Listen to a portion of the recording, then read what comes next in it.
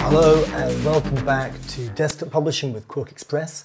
My name is Martin Turner and today we're going to look at how to turn any PDF document uh, into a QuarkXPress 2016 or 2017 template.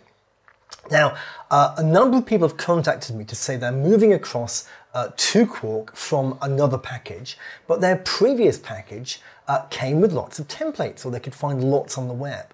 Quark does not ship with templates, but it doesn't need to, because every PDF document you already have, and every PDF document you can legitimately download from the web, can be the basis of a template using QuarkXPress's unique Convert to Native Objects feature.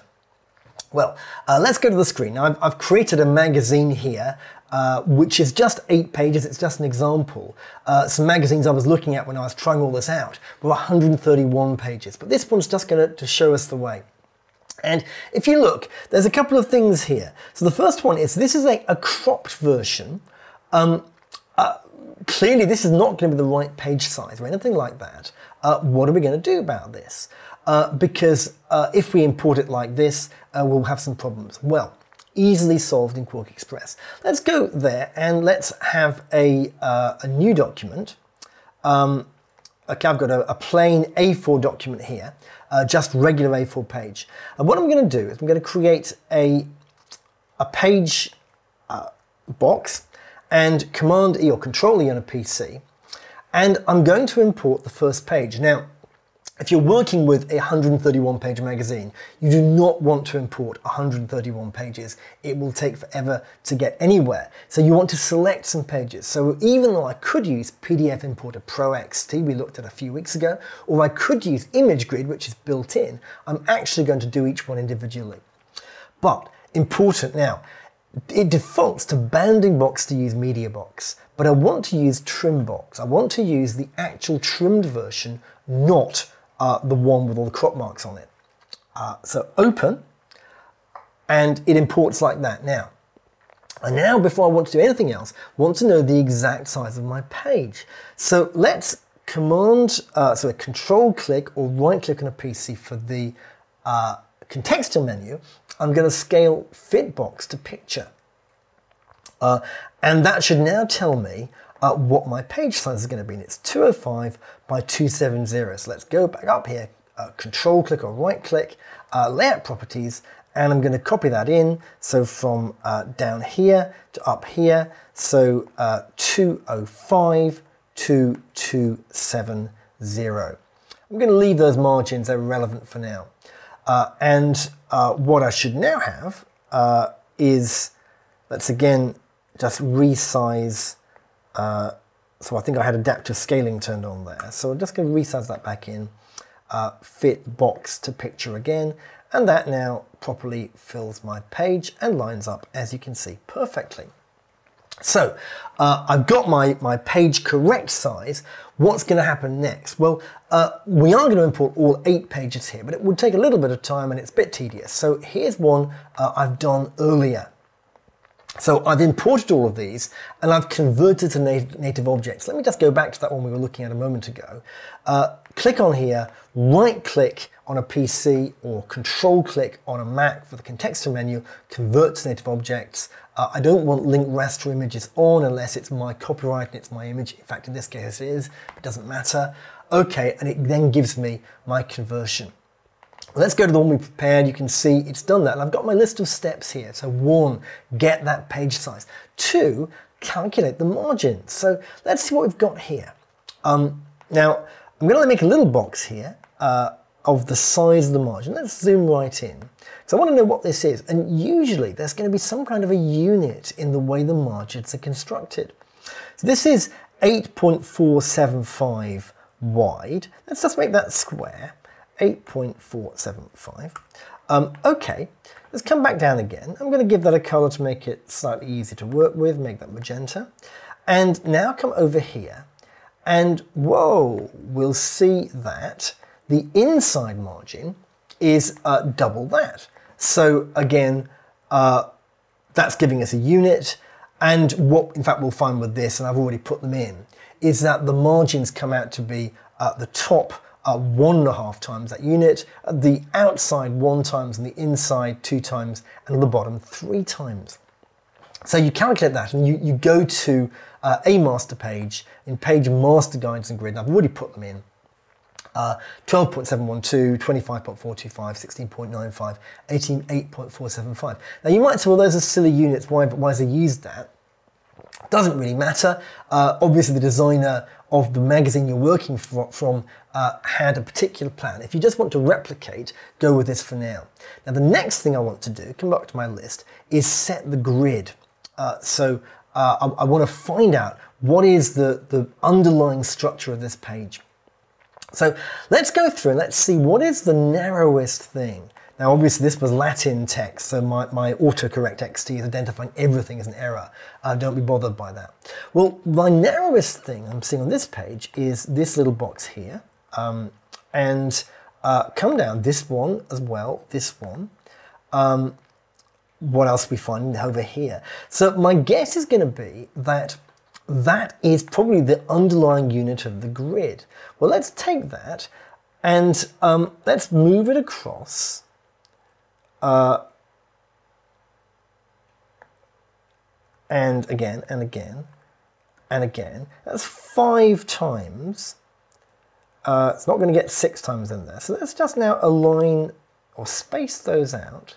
So I'm going to space align uh, and I'm going to uh, space them. Okay, and let's now have a look at what the gap is between those. So again, uh, sorry for the confusion here, uh, but I want a box which will tell me uh, in my measurements down here that that's a, a five millimeter gap. And that has now given me, I think, my knowledge of the grid. So let's delete those, we don't really want them. Uh, what I've got is uh, across the margins, five columns with a five millimeter gap. Now I don't actually need to know how wide the column is because if I now go to my master page, I'm going to go to uh, guides, which is over here. And in this little menu down here, which people often don't notice, you've got create grid or create rows and columns. Now, you might think grid is the answer. Actually, it's rows and columns I want. And uh, I've got five at five millimeters. Uh, and I'm going to make the boundaries, the margins, um, uh, not the gutters. Now, in fact, uh, in this particular case, it's working to the old margins of the page. So I want to go back uh, and just uh, recreate the document with the correct uh, page margins in there. But I, I, I, would create the grid in that way uh, and uh, then work to that. Now, of course, you don't have to. You can simply delete all this text and, and then use these boxes because it comes through as group text. But in most cases, you want to understand the grid rather than just populating it with your own text. Okay, what are we going to do next? The next thing to do is to figure out, figure out the, uh, or actually create the master pages. So what have we got here? Okay, we've got a, a, a page footer here, um, which undo that, uh, ungroup that. So I've got this graphic bar here, and I've got this footer here. Let's go back to that master page. And I'm just going to use paste in place. So it's not regular paste, but in edit, paste in place. And now we'll see this coming across. Um, almost certainly, I'm going to want to use a content variable uh, for this rather than uh, just putting the numbers in. So uh, Let's change the page number for now. So I'm going to do Command 3 or Control 3 puts a page number in. You can also insert that from insert character special, um, sorry, no, it's, it's insert uh, content variable uh, page number will be in there somewhere, uh, current page number. But actually, Command 3 or Control 3 uh, does it for you. Uh, and just expand that a little bit. Uh, and we'll make that right justify uh, and we'll open this out a little bit more. And if we now go back into uh, the document, we'll see that, yeah, that's pretty much uh, what it was. So we're going to delete the ones that are on the page already uh, and just work with our now automatic uh, page numbering, which uh, will of course work for the template itself. Deleted the wrong thing there. Oh, I didn't ungroup that. Okay, so and we can go through it and do all that. Okay, what's the next step? Um, next thing is to figure out the typography and create the style sheet. So let's have a look at what we've got.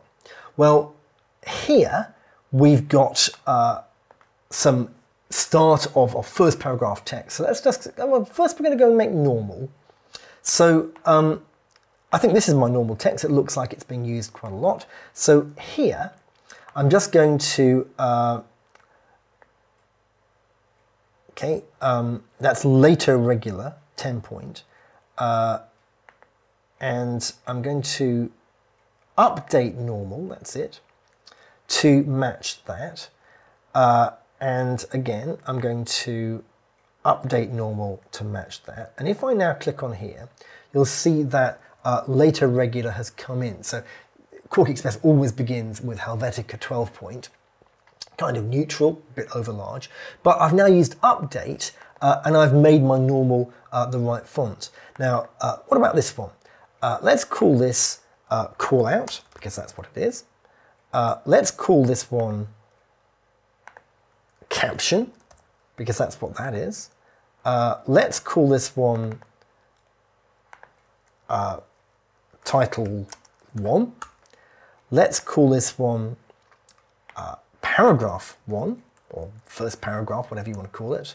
Uh, let's call this one title 2 alternate.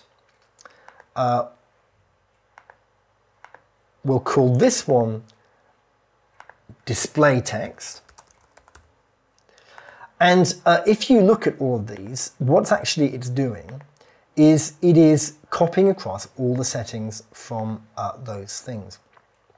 And then uh, we could call this one uh, title zero uh, for double page spread. When you're doing a magazine, always consider the spreads as one unit. You want one main graphic idea on the page, not 10 graphic ideas, and, and see the page as one thing. The basic rule for magazines is that the fewer the columns, the more important the article. So if you have, uh, for example, two narrow columns here, which really are very narrow, those are for just for perhaps the names of the editors or some news snippet. Your, your main articles are going to be in wide columns. And this kind of editorial piece, which I, I deleted here, uh, put the placeholder text back in, which is one column. That's the most important thing. That's the most prestige. The more cluttered the page, the less significance you give it. And again, giving this, this big picture here uh, really helps us out. So we've now got some style sheets. So what else is on my list? Um, so, oops, uh, I changed normal. So uh, of course, uh, okay. So figure out the typography and create the style sheets, that's great. Find the ornaments. Now in this particular document, I hadn't actually created any ornaments at all uh, because it was just an example, but in most magazines will have distinctive ornaments that they use, and you, you could go and find those. What I have got uh, is drop capitals. Now on import, QuarkXPress can't really tell it's drop cap. So if I wanted to combine uh, those two boxes, I could use um, contextual menu, uh, and then I better, better select both of them, uh, and then merge text boxes. Uh, but I don't really need to do that. All I need to do is turn on uh, drop caps uh, in this particular thing uh, and match it up. Uh, and uh, yeah, uh, we'll, we'll see what happens if we did that. But that will be a little bit of work. So back to the top, what else have I got to do? okay, deal with the bleed. So this is quite important. Go back to my master page and I'll see that on the bottom I've got this, uh, this nice band which gives the document a bit of distinctiveness, but there's no bleed attached. So that's right because I didn't want to import all the crop marks, but I do want to bring this across. Now, again, if you're worried about bleed, I would go to Guides, create bleed and safety guides. And I would just put in my uh, nine points, if that's what I'm using, uh, or three millimeters. I can type any unit I want and that's going to give me my uh, safety or bleed for the crop marks. And you can see those uh, coming in uh, over here in red and in green to tell me what's going on. So uh, I'm now going to bleed that out uh, on both sides and I'm safe. And if I want to do uh, anything else in the rest of the document, I can now uh, work to those guides. Obviously this picture has been imported uh, and so will not uh, fill those guides. Uh, if I have the copyright of this picture, if it's my picture, I can get the original picture. But in fact, the next thing to do, the final thing, is to delete copyright content. This is absolutely essential. If you've borrowed a layout from somebody else, if you found something you like, and I've often uh, in the past worked by uh, starting with a magazine that I like and then basing on there. When I was doing uh, teenage uh, uh, campaigns, I used to go into a newsagent and buy several teenage magazines and then base our layouts on that. Nobody, no matter even if you're 21, should imagine they still understand teenagers unless you actually are one. So um, but when you're working with, with something like that, uh, it's essential to go through and get rid of the copyright text.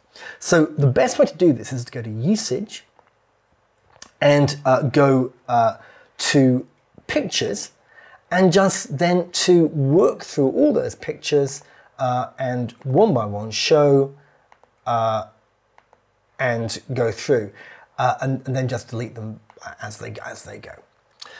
Well, that is pretty much it. Uh, you might say this was uh, entirely obvious, and, and I, I, think for some people it is totally obvious that's what you do. For other people, you might find that useful. Uh, what I want to say is that this convert to native objects feature is so powerful in QuarkXPress, not just because you want to use uh, the boxes themselves, but because you can then use them for the measurements and to discover that grid you're going to work to. Uh, I would say that for uh, a magazine of 10 unique pages, you're going to be spending about an hour to get that template together. Uh, if you were working uh, from scratch, you might be spending several days to get to the same point. Of course, the aim of this is not to plagiarize other people's work, use it then as a basis for creating your own uh, unique designs. Though of course, if you've got PDFs on your hard drive from previous work you've done using another, another software package, then you can go straight in, bring in all the content, and of course those images and those ornaments are already yours. Uh, you have no problem with it. Well, that's all we've got time for this week. Thank you very much for watching. My name is Martin Turner, author of Desktop Publishing with QuarkXPress 2017. Hope to see you next time. In the meantime, happy quarking.